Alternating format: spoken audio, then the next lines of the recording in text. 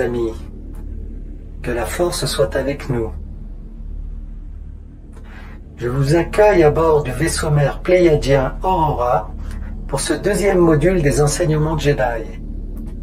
Ce module va traiter d'un sujet inédit à l'heure où je vous parle, en 2020, mais vous devriez beaucoup en entendre parler dans les années à venir.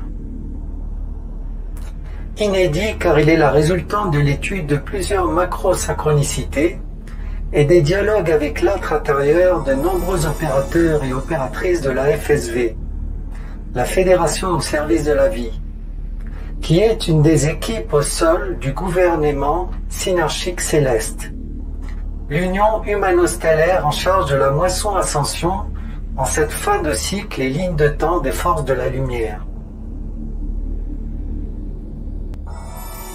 Les enseignements Jedi ont pour vocation de vous aider à vous préparer à cette ascension collective planétaire dans la densité de conscience supérieure. Cette ascension et grande divulgation nous sont en ce moment promises quasiment toutes les semaines par les divulgateurs, experts et amateurs des réseaux sociaux, provoquant un certain émoi dans le public sensible, et ce, sans se soucier que leurs paroles et leurs certitudes d'hier aient été toutes désavouées année après année depuis 2012 et même auparavant. Cela n'empêche pas les mêmes toujours et encore de promettre avec certitude absolue la venue imminente de la percée par compression, ce qui au final arrivera bien sûr par survenir, mais en dépit de la valeur essentielle qu'est l'humilité qui sied au véritable serviteur de la lumière. Ici, il n'est pas question de channeling, de prophétie, de vérité absolue, car nous pensons, au sein de l'ordre Jedi de Tuban, que nul ne sait lorsque l'événement solaire interviendra, pas plus les stellaires que les humains.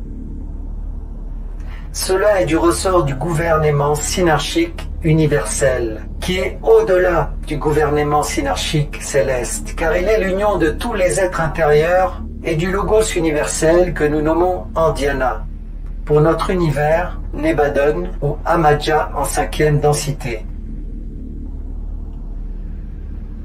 Les informations présentées ici le sont à titre purement informatif et laissées à votre discernement avec l'intention de vous permettre de créer un rétro-planning d'action en vue de cet événement venant signer non pas la fin du monde, mais la fin d'un monde celui de la matrice de réalité archontique 3D falsifiée.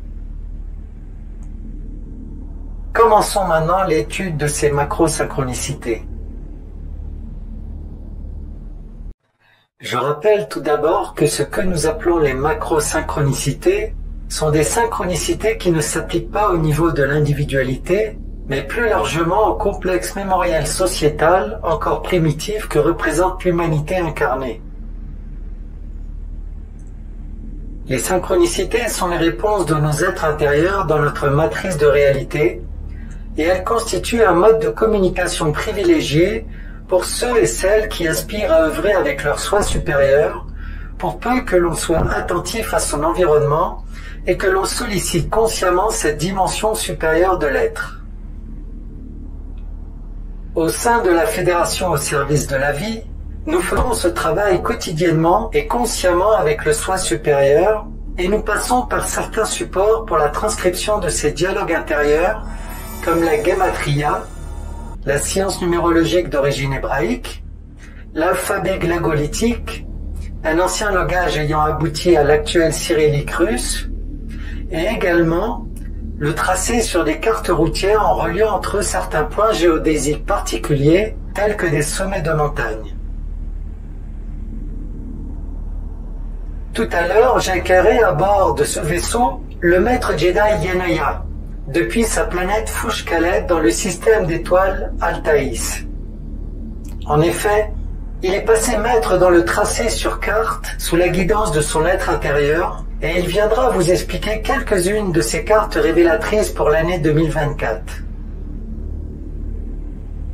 Une apprentie Jedi de la FSV, il y a quelques années, utilisa cette technique de dialogue intérieur et révéla sur des cartes des intelligences bioquantiques liées à l'élément eau, présente sur notre planète à partir de ce qui fut un ensemencement originel de l'étoile Vega dans la constellation de la Lyre. Ces entités, que l'on peut aussi qualifier d'ondines végaliennes, sont au nombre de cinq et sont réparties sur tout le territoire français. Elles reçurent progressivement tout un enseignement à leurs propriétés intrinsèques et les activations propres à chacune. Cette opératrice reçut ainsi que ces ondines végaliennes étaient pour chacune collectées à un grand fleuve français, à une gemme semi-précieuse, et possédait une formule d'activation déterminée par la numérologie hébraïque que l'on nomme Gematria, et ceci toujours via l'être intérieur. Il n'est pas le sujet ici de proposer un enseignement sur ces ondines, mais uniquement de révéler une étrange singularité dans la séquence d'activation de celle-ci. En effet, la première ondine baptisée Sohorus, située dans le quart nord-est de la France et connectée au Rhin, a été collectivement activée le 21 mars 2018. La deuxième ondine, baptisée Orius, située au nord de la France et connectée à la Seine, a collectivement été activée le 1er juillet 2018. La troisième ondine, baptisée Ovia, située au centre-est de la France et connectée à la Loire, a collectivement été activée le 13 mai 2019. La quatrième ondine, baptisée Lomélia, située au quart sud-ouest de la France et connectée à la Loire, a collectivement été activée le 28 juillet 2019 et à cette occasion, nous avons fait un important travail dans le centre de la France, correspondant à l'alignement alchimique planétaire et à l'événement cosmique qui a eu lieu sur les plans subtils à cette date du 28 juillet. Enfin, fait très étonnant dont nous n'avions pas eu d'explication de la divulgatrice à l'époque qui n'avait pas plus de réponse à nous donner que celui d'avoir obéi à une injonction de son être intérieur, la date d'activation de la cinquième ondine, Floris, n'était non plus seulement une date, mais deux dates, et elles étaient séparées de cinq années de la précédente activation. Alors qu'il n'a fallu que 16 mois pour activer les quatre premières ondines, cinq ans séparaient la quatrième ondine de la cinquième ondine. La cinquième ondine, qui s'appelle donc Floris, est située, elle, dans le quart sud-est de la France. Elle est reliée au Rhône et il est prévu qu'elle soit activée le 8 avril 2024 ainsi que le 29 octobre 2024. Qu'est-ce qu'on peut noter en observant cette ondine? On note d'une part qu'elle regarde en direction de la Méditerranée. Cela peut être un indice par rapport à un événement futur. On remarque également que dans la guématrie originelle, pour ces deux dates, l'opératrice a indiqué que le 8 avril 2024 correspondait à la valeur 455 lorsqu'elle était associée au mot contact. Et ce mot contact est relativement important. De la même façon, 29 octobre 2024 aboutit à la somme guématrique de 455. Alors se pose la question de la définition du terme contact. Désigne-t-il le top départ d'un événement solaire, signant le point de départ du nouvel ère pour l'humanité? Désigne-t-il un contact physique avec nos amis et alliés stellaires bienveillants? Et si c'est le cas, s'agit-il d'un contact restreint à quelques serviteurs de la lumière? Ou s'agit-il d'un contact global pour toute l'humanité avec les répercussions que l'on imagine? Chers amis et padawans, nul ne le sait à ce jour, mais n'oublions pas que ce ne sont que des potentialités qui ne demandent qu'à émerger dans notre réalité, et que cela dépendra de notre action collective au cours des prochaines années. Concernant la première date d'activation de l'ondine Floris, Fixé donc il y a de cela plusieurs années le 8 avril 2024, elle se fait l'écho d'une deuxième macrosynchronicité qui est prévue, elle, de se dérouler aux États-Unis à la même date à travers une importante éclipse solaire. Pour rappel, le 21 août 2017, une éclipse solaire totale traversa les États-Unis d'est en ouest sur une section de 100 km de large. Ce fut un événement exceptionnellement rare car la dernière éclipse solaire qui traversa l'ensemble du continent américain datait de 1918, soit près d'un siècle plus tôt. L'éclipse est entrée aux États-Unis par la ville de Salem, une ville célèbre pour les procès en sorcellerie qui ont eu lieu au XVIIe siècle, et qui se trouve dans le 33e État qu'est l'Oregon. Elle en est sortie en Caroline du Sud à 33 degrés de latitude. Ce chiffre 33 est lui-même une synchronicité importante car il est lié à la vibration christique. Mais c'est également un chiffre lié à la justice et au karma. Il est intéressant de noter que le 30 août 2017, soit neuf jours après cette éclipse solaire, est survenu comme une coïncidence l'ouragan Irma, qui fut le plus puissant enregistré dans l'Atlantique Nord par la vitesse de ses vents soutenus à 295 km/h, juste derrière l'ouragan Allen qui eut lieu en 1980.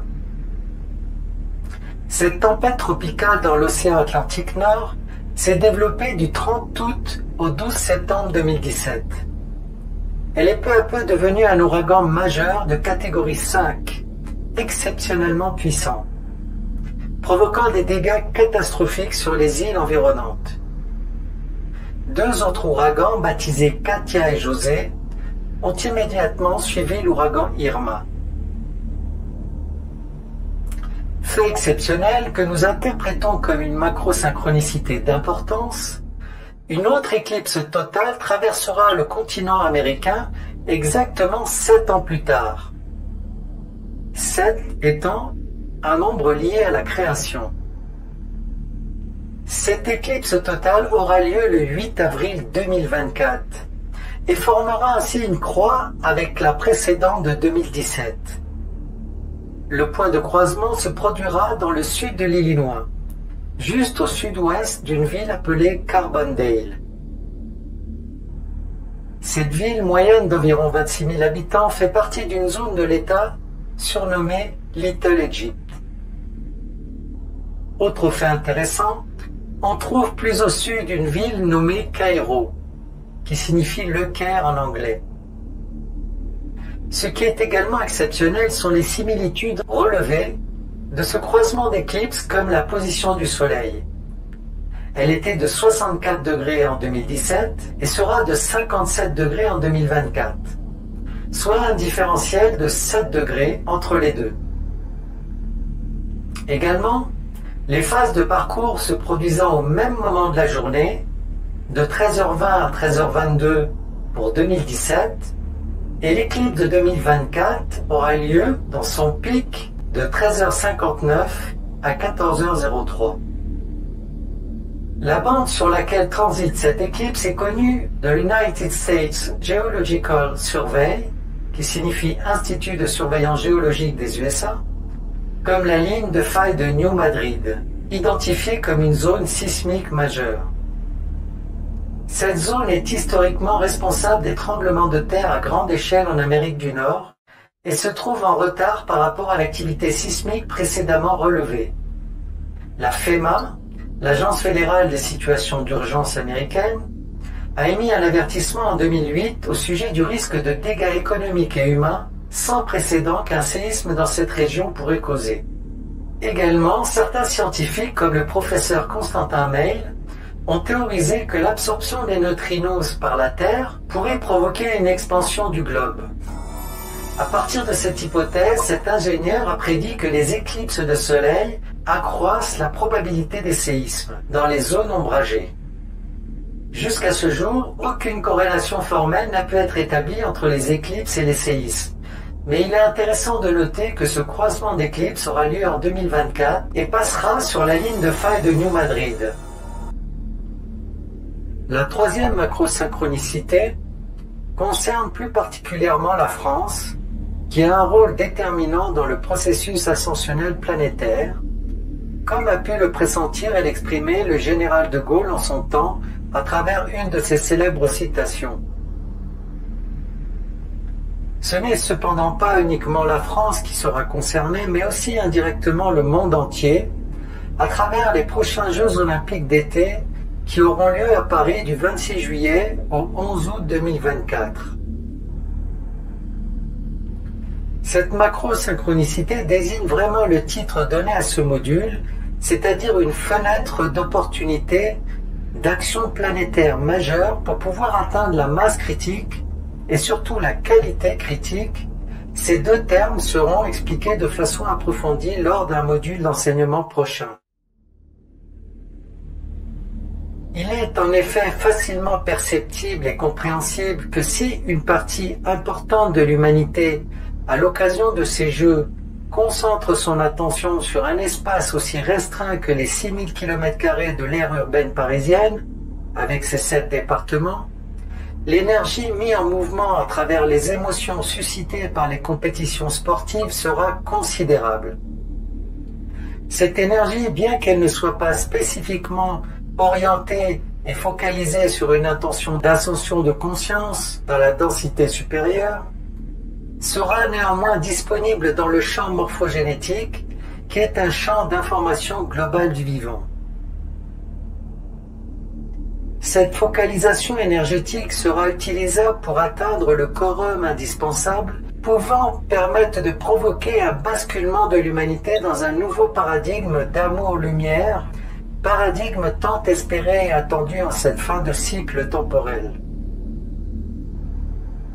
L'aspect internationaliste de cet événement réunissant plus de 200 pays donnera la possibilité de diffuser une information précise et une puissante intention à travers ce réseau énergétique ponctuel ayant la capacité de se diffuser dans quasiment tous les recoins de la planète. Les équipes d'opératrices et d'opérateurs en charge de diffuser cette information à travers ce catalyseur devront néanmoins effectuer une préparation de longue haleine, à l'instar des athlètes venant se mesurer entre eux au cours des épreuves des Jeux olympiques. On peut dans un premier temps noter comme une synchronicité que ces Jeux olympiques d'été de 2024 ont officiellement été baptisés les Jeux de la 33e Olympiade de l'ère moderne. On retrouve là le chiffre 33 en relation avec la vibration christique comme un nouveau clin d'œil de ce que certains appellent le grand architecte de l'univers. La deuxième synchronicité dans cette macro-synchronicité est les dates de déroulement initial des Jeux olympiques de 2024 qui avaient été initialement fixées du 2 au 18 août. Ils ont été opportunément avancés du 26 juillet au 18 août établissant ainsi une nouvelle fenêtre d'action correspondant exactement, le 28 juillet 2024, aux cinq ans qui ont été demandés au Conseil de Saturne. La demande avait été faite à ce Conseil de huitième dimension, régissant notre système solaire, précisément le 6 juillet 2019. Et elle a été confirmée lors d'une cérémonie au centre de la France le 28 juillet 2019 pour permettre à l'humanité de se préparer au mieux au grand événement solaire à venir. Plus de 60 personnes se sont alors rassemblées lors de cet alignement alchimique planétaire pour formuler cette intention auprès de cette instance céleste, pour lequel nous avons reçu par la suite des synchronicités irréfutables prouvant que cette demande de 5 ans avait bien été agréée. La troisième synchronicité dans cette macro-synchronicité concerne le logo officiel de ces Jeux de 2024, qui est une forme ronde rassemblant trois symboles. Une médaille d'or, la flamme olympique et Marianne, la figure symbolique de la République française, symbolisée par un visage de femme. Nous avons la forte conviction depuis des années, validé cela par de nombreuses communications des êtres intérieurs, que ce nouvel âge d'or de l'humanité sera sous le signe de la féminité sacrée, symbolisée par Myriam de Magdala. connue également comme Sainte Marie-Madeleine. Cet archétype féminin symbolise l'énergie créatrice de la source infinie et représente le nouvel avatar du Verseau en charge du processus ascensionnel planétaire, tout comme le maître Yeshua fut celui de l'ère du poisson. Ce visage féminin révèle également en trompe-l'œil la flamme des Jeux olympiques qui sera allumée au cours de la cérémonie d'intronisation. Cette flamme dont les lèvres de Marianne sont en quelque sorte un support s'apparente étrangement à la flamme sur son autel. Les êtres intérieurs ici nous indiquent encore une fois clairement que cet événement a été prévu de très longue date pour permettre aux missionnés d'effectuer une action essentielle liée au processus global d'ascension de l'humanité. Je vais maintenant aller chercher mon ami le maître Jedi Yanaya qui va vous expliquer quelques-unes de ces cartes en relation avec la fenêtre d'opportunité 2024. Je fais un petit tour dans la salle de téléportation et je reviens aussitôt. Alors, à tout de suite.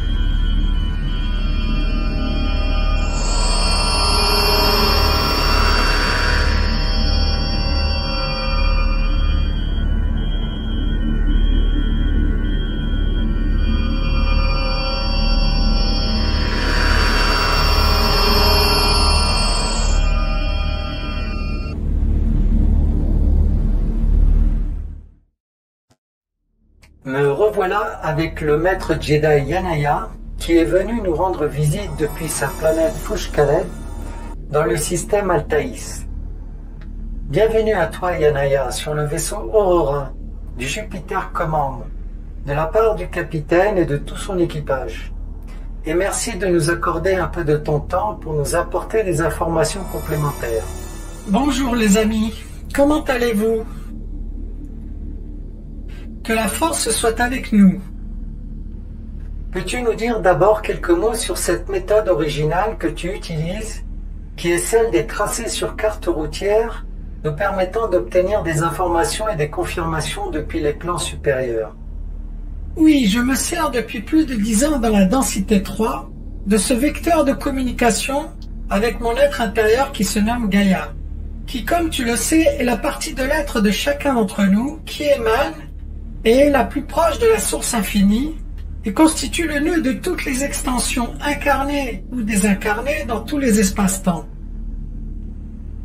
Cette position lui permet de détenir toutes les vérités de l'univers et des multivers et permet à chacun de nous, en s'intériorisant et avec un peu d'entraînement, de communiquer et de puiser de l'information.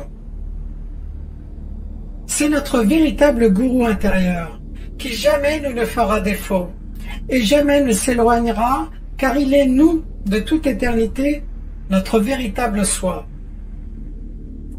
Ceci étant, pour rendre accessibles les informations que je reçois aux autres entités incarnées et désincarnées, je les transpose sous forme de tracés sur des cartes routières en reliant des sommets de montagnes entre elles ou d'autres points géodésiques de la carte tels que des chapelles ou autres. Je laisse mon être intérieur me faire percevoir et se former dans mon esprit le message qu'il souhaite faire passer et le laisse ensuite guider ma main sur les points et les traits pour tracer ce qui s'est dessiné dans mon esprit en évitant de faire intervenir mon intellect. La suite est ce que vous allez voir. Je remarque que le nom de ton être intérieur est celui qui a été donné par la Grèce antique à la planète Terre. Peux-tu nous parler des tracés sur carte via cette guidance de Gaïa en relation avec la fenêtre d'opportunité de l'année 2024 Oui, Gaïa m'a révélé en mars 2020 ma carte ici présente lors d'une visite au château de Gréous-les-Bains, dans le Var, qui n'est pas très loin où je vis dans mon incarnation terrestre. À un moment de ma visite de ce château templier, une voix intérieure s'est imposée à moi et s'est présentée comme étant Romy, un être de Vega de la Lyre avec lequel la Fédération au service de la vie œuvre depuis quelque temps. Romy m'a demandé de lever les yeux au ciel et à ce moment j'ai aperçu deux traînées blanches créées par le passage des avions en vol.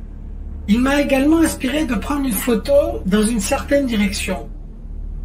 Mon être intérieur m'a alors inspiré que ce tracé sur lequel on m'avait fait porter mon attention dans le ciel était le croisement des éclipses de 2024 et qu'il serait pertinent que j'en fasse la représentation sur une carte. De retour chez moi, je me suis aperçu en agrandissant la photo qu'il y avait bien un vaisseau et cela m'a confirmé la présence des Végaliens et la voix que j'avais entendue. Mon être intérieur m'a donc aidé à tracer cette carte en reliant des sommets de montagne, dont le centre de ce dessin est situé à Théopolis, un très puissant vortex situé près de Sisteron dans les Alpes de Haute-Provence. C'est d'ailleurs le cas de toutes les cartes que je vais vous présenter, qui sont toutes centrées sur ce lieu qui semble jouer un rôle déterminant dans le processus ascensionnel de l'humanité. On remarque sur cette carte sept cercles concentriques qui représentent d'une part les sept années qui séparent les deux éclipses solaires sur le continent américain et également l'onde vortexielle de cet endroit qui rayonne sur plusieurs densités de conscience. On aperçoit également le nom de Romy Aldaïra, qui sont les noms des ambassadeurs de Vega de la Lyre et nos alliés bienveillants avec lesquels nous communiquons et coopérons dans ce processus ascensionnel. Merci Yanaya pour ces explications. Peux-tu nous parler de la deuxième carte qui semble confirmer ce que je viens de dire sur les prochains Jeux olympiques de Paris? Oui, très rapidement car tu as dit l'essentiel. Cette carte a été tracée en février 2020 et reprend le logo officiel des Jeux olympiques. On voit le monde posé sur les lèvres du visage de la femme, qui est, comme tu l'as révélé, aussi l'autel de la flamme, comme si de la bouche de la féminité sacrée devait sortir en même temps la vérité et en même temps la création du monde nouveau, régénéré par cette flamme de la Saint-Esprit. Cela confirme l'importance de cette fenêtre d'action et de ce jour particulier du dimanche, jour du soleil, 28 juillet 2024 pour l'humanité. Le vortex de Théopolis est toujours au centre, entre l'autel symbolique et la planète Gayaki, sur lequel il est posé. On remarque le terme Aldiaka, que mon être intérieur m'a inspiré de tracer en tant que nom de Myriam de Magdala dans la cinquième densité. Merci Yanaya.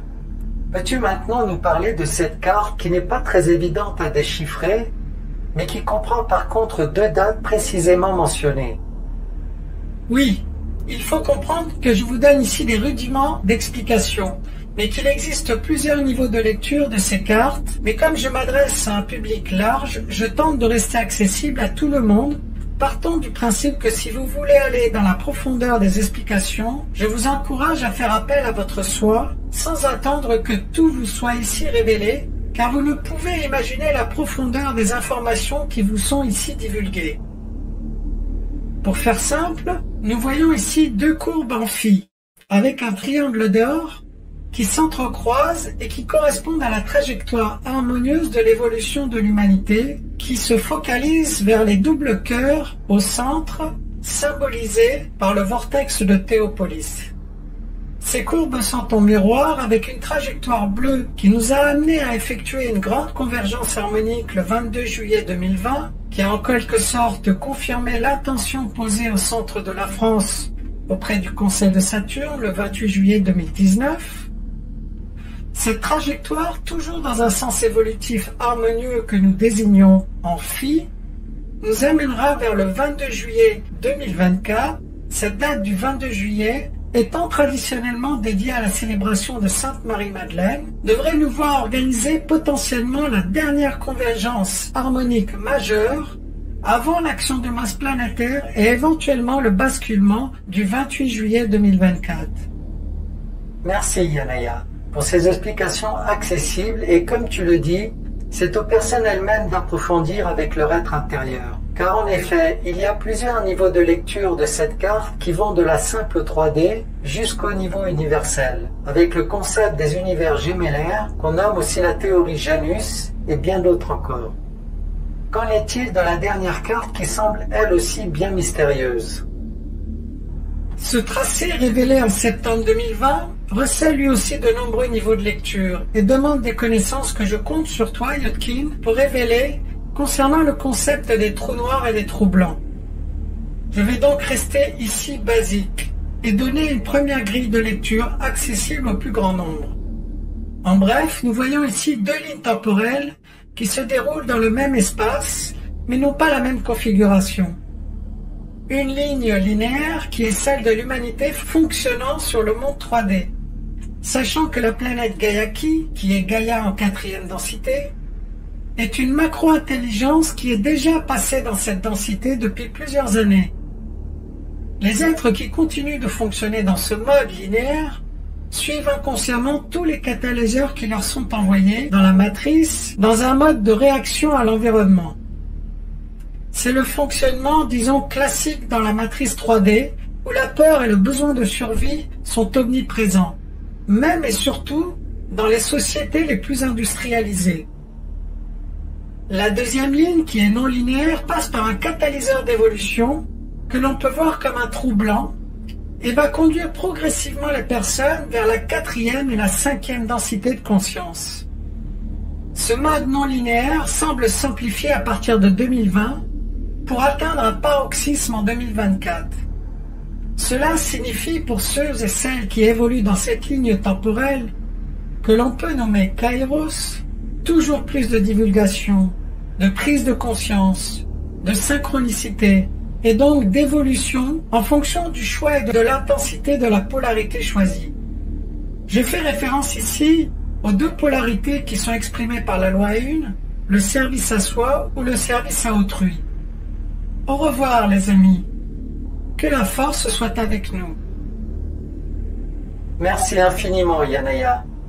Je pense que tu as transmis l'essentiel, et comme il est dit dans la Bible, que ceux qui ont des yeux pour voir verront, et des oreilles pour entendre entendront. Il ne me reste maintenant plus qu'à tous vous remercier pour votre attention, et surtout, n'oubliez pas, l'amour ne fait pas la guerre, l'amour n'élimine pas, l'amour illumine, l'amour transmute. Que la force soit avec nous. Au revoir.